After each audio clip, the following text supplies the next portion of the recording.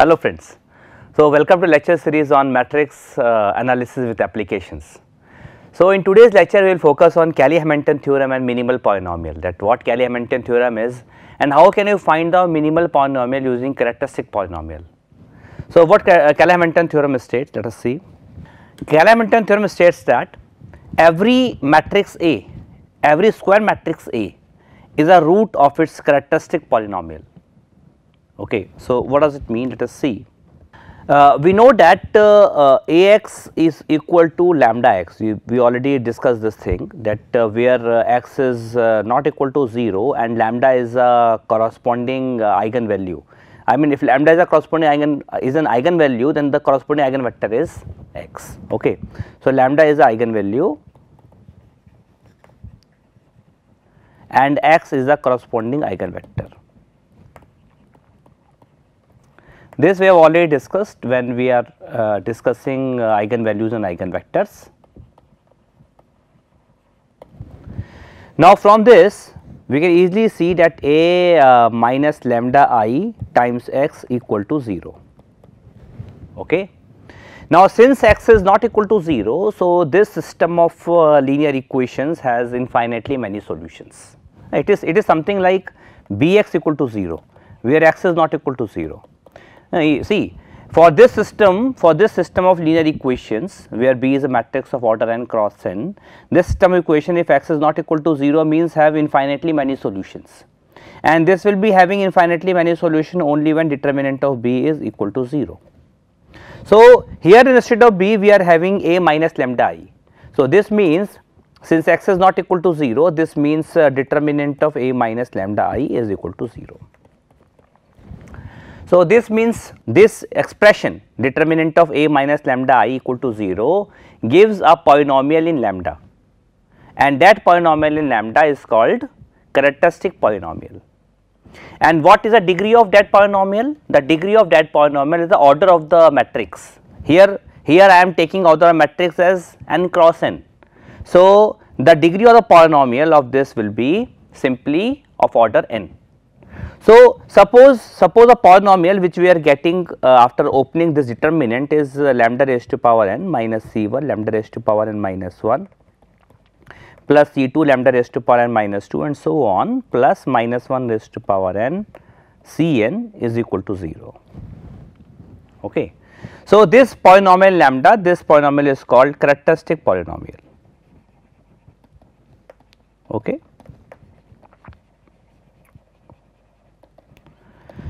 So, how many how many roots this equation is having? This equation is having n number of roots. Suppose the roots are lambda 1, lambda 2 up to lambda n. Roots may be distinct, roots may be real, roots may be complex. Okay. Some roots are equal, some are distinct, anything. Now, we, we have already discussed that sum of the eigenvalues is equal to trace of the matrix Trace means sum of diagonal elements. That is sum of over i sum of a i i. A11 plus a22 plus a33 up to a n n. Okay? And i is varying from 1 to n. And this also we have discussed that product of eigenvalues is nothing but determinant of a. Okay. Now Cayley-Hamilton theorem states that for if this is a characteristic polynomial of a matrix A, okay, then the, uh, my matrix always satisfies characteristic polynomial.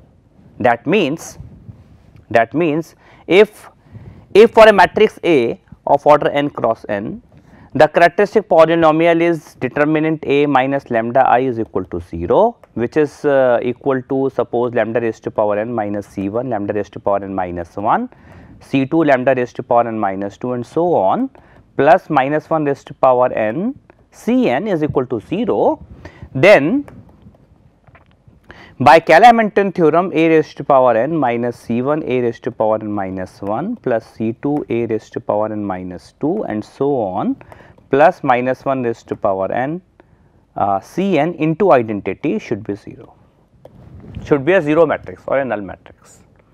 That means, if you have a characteristic polynomial corresponding to a matrix A, it always be satisfied by the matrix itself. That is the main statement of Cayley-Hamilton theorem. Now, how can we prove it?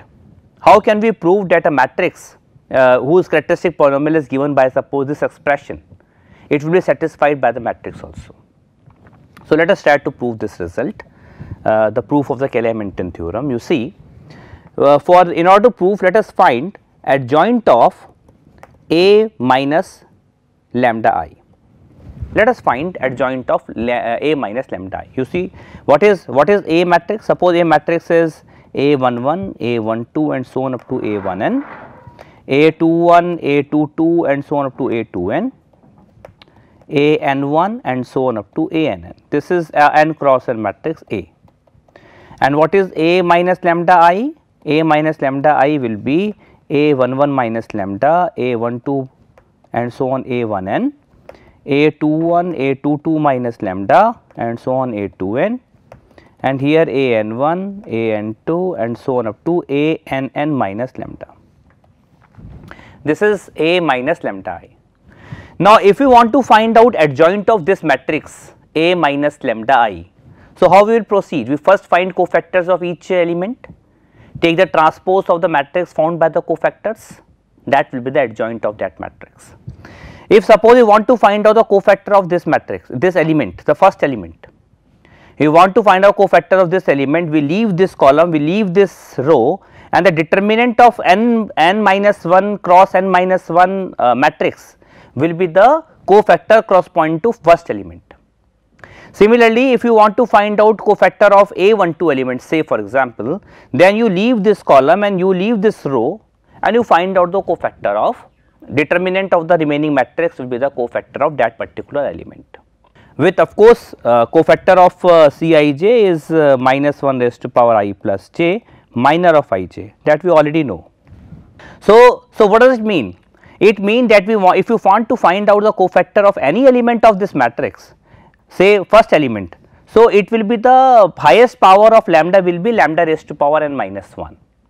You see you want if you see cofactor of this element then the uh, determinant of this will contain lambda raised to power n minus 1 not lambda raised to power n. If you want to find cofactor of this element then the uh, highest power of lambda will be lambda raised to power n minus 2 Okay. So, if you if you find cofactors of each and every element of this matrix, so this will be something like you can say that it is uh, b1 lambda raised to power n minus 1 plus b2 lambda raised to power n minus 2 and so on up to bn. Okay. This b1, b2 up to bn they are the matrices itself. Okay. They are itself the matrices. They are here here b1, b2 and so on up to bn are the matrices. Okay. Because, because when you write the determinant of this matrix, you open it, it will contain lambda raised to power n minus 1 and the other other terms. Similarly, when you take the uh, cofactors of other element and so on, so you will get uh, lambda raised to power n minus 1 a matrix uh, B 1 Similarly, uh, lambda raised to power n minus 2 a matrix B2 and so on up to Bn. You can easily verify this result by taking a 3 cross 3 matrix. Uh, so, you will find that B1, B2 up to uh, Bn in that case is are the matrices of order n cross n okay, of order n cross n. Now, we know that uh, we also know that uh, a minus lambda i into adjoint of A minus lambda i that means A into adjoint of A. We already know it is equal to determinant of A times identity. Okay. So, this is matrix into adjoint of the matrix is equal to determinant of A minus lambda i into i. This we already know. So, so you, you substitute uh, this expression over here. So, what you will get? What we will get? You see we are having a minus lambda i into adjoint of a minus lambda i we are taking it as equal to determinant of a minus lambda i times identity. This implies a minus lambda i this is we are assuming it is equals to b1 lambda raised to power n minus 1, b2 raised to power n minus 2 and so on up to bn is equals to determinant of now determinant of a minus lambda i is uh, is we already know that it is uh, lambda raised to power n minus c1 lambda raised to power n minus 1 and so on up to minus 1 raised to power n into cn times identity. This we have already assumed that the determinant of this matrix is lambda raised to power n minus c1 lambda raised to power n minus 1 and so on minus 1 raised to power n cn times identity. Now, let us compare the coefficient from both the sides. You see what is the coefficient of lambda raised to power n? From here and here when you multiply these two uh, brackets then lambda raised to power n will be minus b1 from this into this itself okay and that must be equal to i from here. Now, lambda raised to power n minus 1 lambda raised to power n minus 1 when you multiply this with this element. So, it is a b 1 and this with this I mean this element with the second element of this uh, bracket that is minus of b 2 that will be equal to lambda raised to power n minus 2 uh, from here c 1 times identity. Similarly, if you similarly if you take the uh, lambda raised to power 0 from here so, lambda raised to power 0 will be this into this that is uh, Bn into A from here and no other term and that will be equal to minus 1 raised to power n Cn times identity. Now, uh, now you multiply the first equation by A raised to power n, the second equation by A raised to power n minus 1, the last equation with uh, identity and you add them. When you multiply this by A raised to power n, multiply this by a raised to power n minus 1 then it will become a into a raised to power n minus 1 will become a raised to power n into b 1. So, these two will cancel out. Now, similarly when you multiply b 2 with this element this will be minus a raised to power n minus 1 into b 2 which will be cancelled from the next uh, expression term in the next expression and similar last expression will be cancelled from the uh, second last one. Okay. So, when you add them uh, when you add them it, we obtain uh, a raised to power n minus c 1 a raised to power n minus 1 plus c 2 a raised to power n minus 2 and so on plus minus 1 raised to power n c n times identity will be equal to c. So, hence we have obtained hence we obtained this result which states that I mean which uh, tells us that characteristic polynomial will be satisfied by the matrix itself. So, hence we got the proof of the Cayley-Hamilton theorem. So, suppose we are having this problem now matrix A for uh, simplicity we have taken an example of 2 cross 2 similarly we can go for 3 cross 3 or higher orders. Now, let us suppose A is this matrix okay we have to verify Cayley-Hamilton theorem and hence find A inverse adjoint of it A raised to power 6. Now, what is A here? A is you see A is uh, 2 minus 2 minus 2 and 5. First we will find out the characteristic polynomial of this matrix A and from there we will try to verify Cayley-Hamilton theorem. So, what is the characteristic polynomial? Determinant of A minus lambda i is equal to 0 is a characteristic polynomial. So, this implies determinant of 2 minus lambda minus 2 minus 2 5 minus lambda determinant should be 0. So, this implies 2 minus lambda into 5 minus lambda minus 4 should be 0. This implies lambda square, this is minus 7 lambda plus 10 minus, uh, 4 is plus 10 minus 4 is plus 6 equal to 0. So, this is the characteristic polynomial of uh, uh, this uh, matrix A. Now, what from Cayley-Hamilton theorem? From Cayley-Hamilton theorem, uh, we must have a square minus 7a plus 6 i should be 0. This we have to verify. In order to verify you simply take left hand side, left hand side is a square minus 7a plus 6 i and we have to show that it is equal to null matrix. So, first find a square. What is a square? a square is 2 minus 2 minus 2 5 into a itself 2 minus 2 minus 2 5 When you multiply these two, this row, this column, it is 4 plus 4 is 8. This row, this column minus 4 minus 10 minus 14. This row, this column minus 4 minus 10 minus 14. This row, this column is 4 plus 10 is 14. Now, you, you now let us try to find this expression a square minus 7a plus 6i which is 8 minus 14 minus 14 14 minus 7 times a. You multiply this with 7 so it is it will be 14 minus 14 minus 14 uh, 7 5 is it is 35 7 into 5 is 35 plus 6 i that is 6 0 0 6. Now 8 plus 6 is 14 and 14 minus 14 is 0. Similarly minus 14 and plus 14 is 0. Minus 14 plus 14 is 0 and it is 14 uh, 14 plus 6 14 plus 6 is 20 so let us uh, let us again verify this thing it is this row this column that is 4 plus 25 okay. So here here we have a doubt. Here is a correction. You see this element. It is 4 this row this column. That is 4 plus 25 is 29 okay. So this element is 29 now 29 plus 6 is 35 and 35 minus 35 is 0. So it is 0 0 0 0. So it is a null matrix 0. Okay. So hence we have hence this uh, th uh, theorem is verified. Now we have to find out inverse of A using Cayley-Hamilton theorem. So how we will find that? So for this matrix we have seen that A square minus 7A plus 6I is equal to 0. This we have obtained by Cayley-Hamilton theorem. Now, now what is the, what is the determinant of uh, determinant of the matrix? Determinant of the matrix is simply product of eigenvalues and product of eigenvalues is simply given by the last term upon first term that is 6 that is a determinant.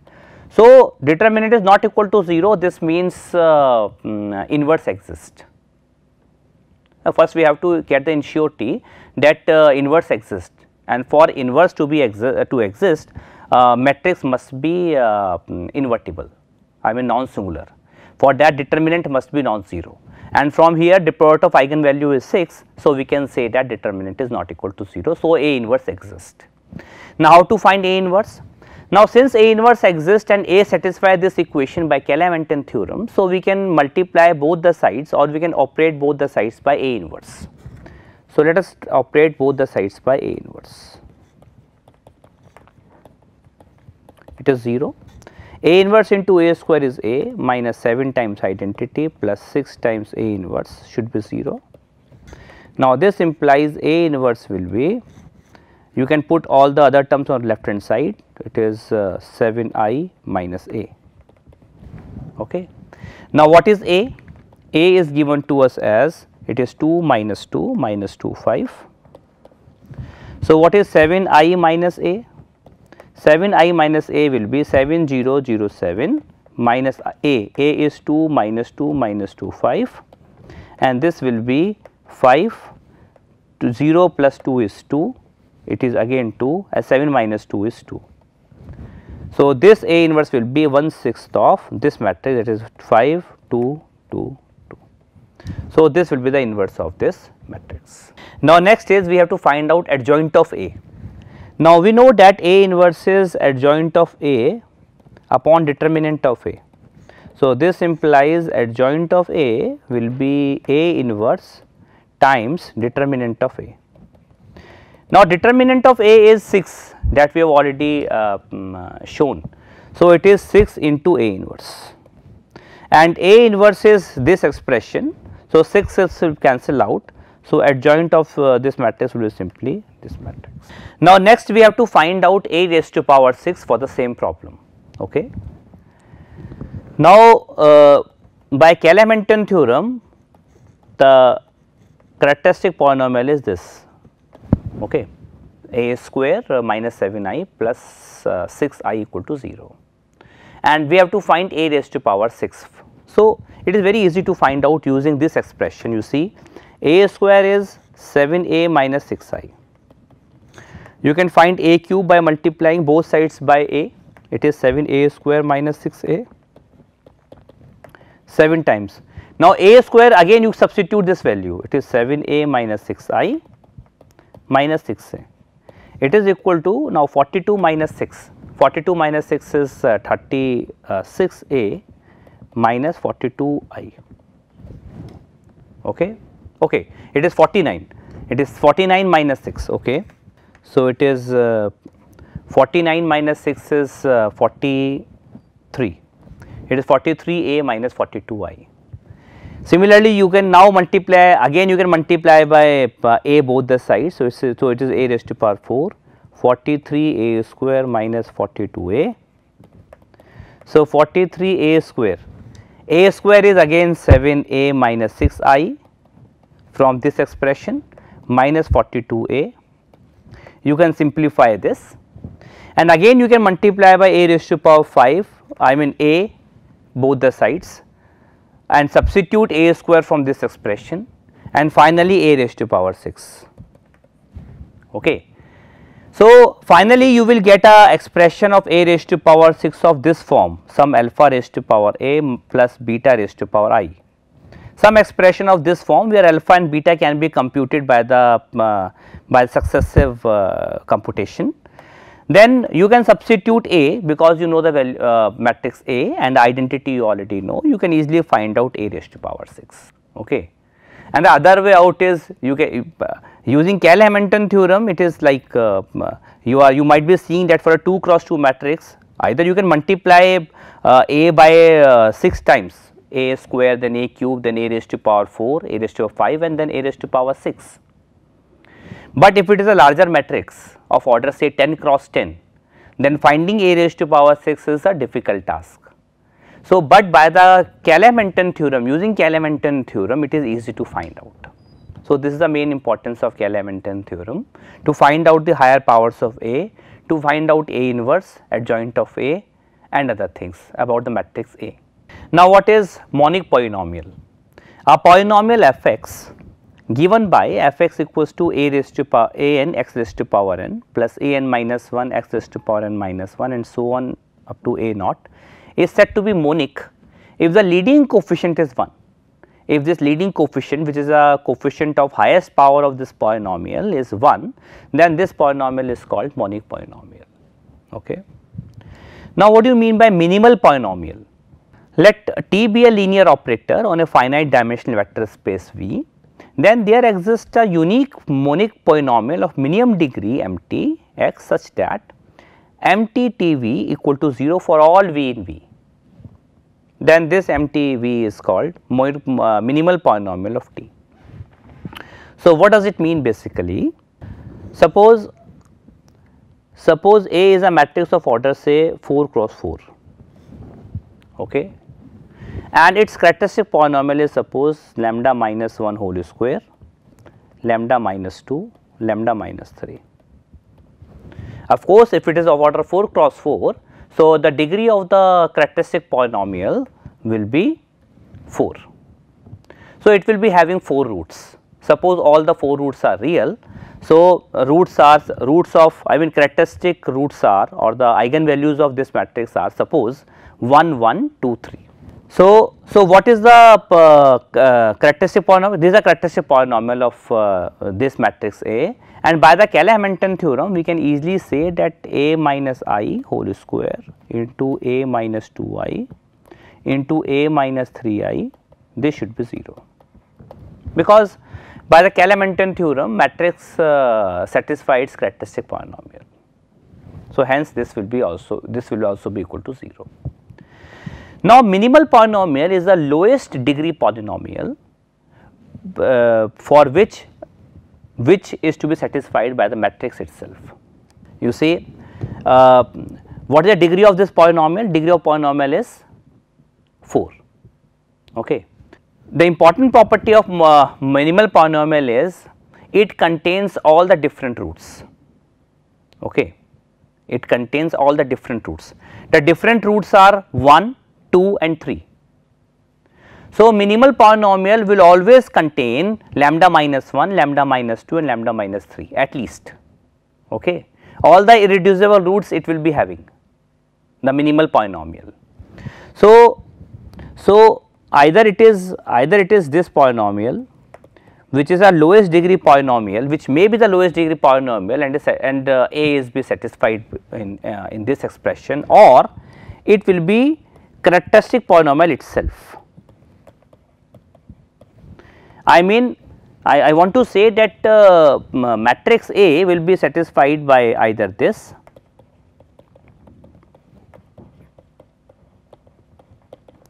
or this. For this it is uh, for this it is obviously true because by the Cayley-Hamilton theorem. But we need a polynomial which is of lowest degree. So, it may be this polynomial also. So, for this polynomial we have to check whether A is at A is satisfying this expression or not. If A is satisfying this expression, so this will be the minimal polynomial. Otherwise, this is the minimal polynomial which is uh, of course be satisfied by A by the Cayley-Hamilton theorem.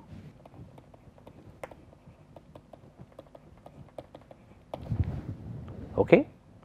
So, minimal polynomial has an important property. Number 1, it is of lowest degree polynomial uh, which is satisfied by the matrix itself. It contains all the irreducible factors, all the linear factors which the characteristic polynomial is having. Okay. Now, suppose you want to find out uh, a minimal polynomial corresponding to a matrix A, how we will proceed. So, let us discuss it by an example. Suppose you are having the first problem 2002, 2002. So, what is the uh, characteristic polynomial of uh, this matrix? This which means determinant 2 minus lambda 0 0 2 minus lambda should be 0 or it implies 2 minus lambda whole square is equal to 0. So, this is the characteristic polynomial of this matrix A. How many uh, roots it is having? Only 2 roots both are equal lambda equal to 2 2. Okay. Now, the minimal polynomial is a lowest degree polynomial contains all the irreducible roots, all the linear roots, all the different roots, distinct roots. Okay. So, so that means the uh, minimal polynomial will be either 2 minus lambda or 2 minus lambda square. It is either having 2 minus lambda or itself. This, this is, will be always satisfied by the matrix itself by the Cayley-Hamilton theorem. So, we have to check whether this is be satisfied by the um, matrix or not. If it is satisfied the matrix that means it is a minimal polynomial. So, this means we have to check that 2 i minus uh, a should should be 0 or it is not 0 let us see. So, so 2 i is 2 0 0 2 and a is simply of course the same thing. So, it is comes out to be a null matrix. That means that means this uh, this expression this expression satisfying uh, satisfying by the matrix A. That means a minimal polynomial of uh, for this matrix is lambda 2 minus lambda. Okay? It is of degree 1 not 2 so the minimal polynomial of this matrix is 2 minus lambda. Now let us take the second example to see whether it's uh, what is the minimal polynomial of this so second example is you see a is A here is 3 1 0 0 3 0 0 0 4. It is the upper triangular matrix you can easily see upper triangular matrix and the in case of upper triangular matrix eigenvalues are simply the diagonal elements. So, what are eigenvalues of this matrix? These are 3, 3 and 4 and if you know the eigenvalues you can simply find out this characteristic polynomial which is lambda minus 3 whole square into lambda minus 4 that is e that we can easily see. So, characteristic polynomial of uh, this uh, matrix A will be nothing but lambda minus 3 whole square into lambda minus 4. Now, we have to see what is the minimal polynomial of this matrix A. So, to see the minimal polynomial of this matrix A, minimal polynomial is lowest degree polynomial which is satisfied by the matrix itself. So, either it is so minimal polynomial of this matrix is either lambda minus 3 into lambda minus 4 or lambda minus 3 whole square into lambda minus 4 because it contain all the uh, different uh, roots, all the distinct roots all the factors having distinct roots. So, this is obviously satisfied because by the Cayley-Hamilton theorem. Let us see whether it is satisfied or not. If it is satisfied, then this will be the minimal polynomial of this matrix A. So, we have to see basically that A minus 3i into A minus 4i. What is the expression this? Let us see. What is A minus 3i? It is 0, 1, 0. It is 0, 0, 0, 0, 0, 4. And what is A minus 4i? It is A minus 3i is uh, 0, 1, 0, 0, 0, 1, 0, 0, 0 and 0, 0, 1. Okay because you are multiplying this you are uh, subtracting 3 with each diagonal elements. Now, a minus 4 i will be minus 1 z, minus 1 1 0 0 minus 1 0 0 0 0. Now, what is the product of these two? You multiply this with this 0, you multiply this with this is minus 1. If one element is non-zero, if one element comes out to be non-zero, this means it is not equal to a null matrix and if it is not equal to null matrix that means this can't be the minimal polynomial. So, what is the minimal polynomial then? The minimal polynomial will be the this expression, this will be the minimal polynomial of this.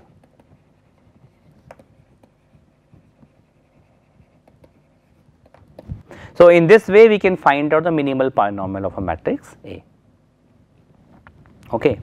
So, basically uh, if, if I have I am having a matrix A of order say 5 cross 5 and the characteristic polynomial is suppose lambda minus 1 whole raised to power 3 into lambda minus 2 into lambda plus 3 suppose is equal to 0, then the minimal polynomial of uh, this uh, I mean for this matrix A cross this characteristic polynomial may be. So, what are the cases we have to check? For minimal polynomial we have to check this product whether it is 0 or not, this product whether it is 0 or not and this product. This is of course 0 by the Cayley-Hamilton theorem. So, if these two are not equal to 0, so the matrix characteristic polynomial itself is a minimal polynomial. Okay. But we have to check for these two also whether these are 0 or not. Okay. So, first we will check for this if it is equal to 0. So, this is the least lowest degree polynomial which is satisfied by the matrix otherwise we check for this. If these two are not equal to 0 then the uh, characteristic polynomial itself will be the minimal polynomial. Okay. So, what are properties of minimal polynomial? The minimal polynomial MT of matrix A divides every polynomial that has A as a 0 that is MT divides the characteristic polynomial of A. So, always minimal polynomial divides its characteristic polynomial. Okay. Number 2 it has the characteristic polynomial the minimal polynomial of matrix A has the same irreducible factors which we have discussed. And number 3 a scalar lambda is the eigenvalue of a matrix A if and only if lambda is a root of a minimal polynomial of A also. So, if uh, uh, lambda is eigenvalue it is also it is always a root of minimal polynomial also. So, these are some of the important properties of minimal polynomial. So, in this lecture we have seen that that uh, how we can find out characteristic uh, polynomial I mean uh, how we can uh, see uh, and see the advantage or the applications of Cayley-Hamilton theorem. How can you find out minimal polynomial corresponding to a matrix A? Okay. In the next few lectures, we will see some of the important uh, properties of or important advantage of minimal polynomial. So, thank you.